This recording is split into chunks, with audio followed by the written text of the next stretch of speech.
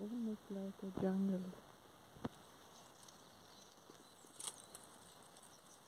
But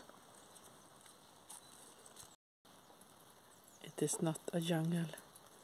It is in Sweden and it's still winter.